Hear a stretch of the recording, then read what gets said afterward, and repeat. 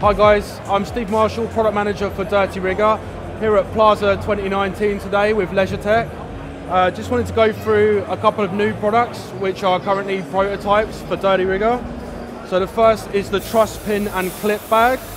As you can see there's a divider in the centre to separate both pins and clips from each other, helps save time. Um, on the side here we have a truss pin hammer uh, slot we're also looking at releasing the hammer as well with both a soft steel and nylon side as well.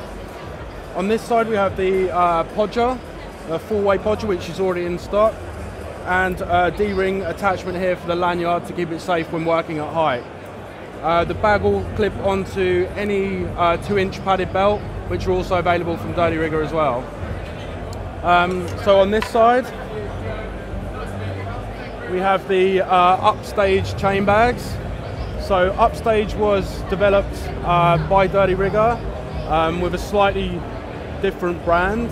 Um, these are handmade in the UK and fully tested to EN regulations for uh, tensile strength, uh, flame retardancy and various other specifications.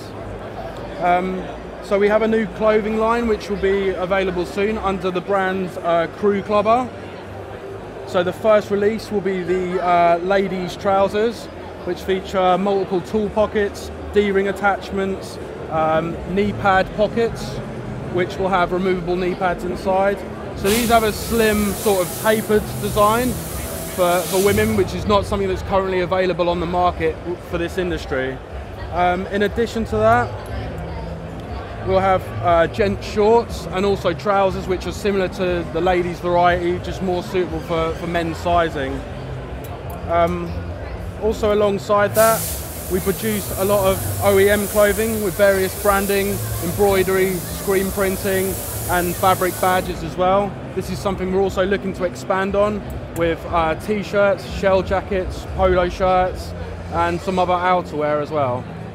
Uh, for any more information, please get in touch with uh, either someone from Le Mark or Leisuretec team. Thank you very much.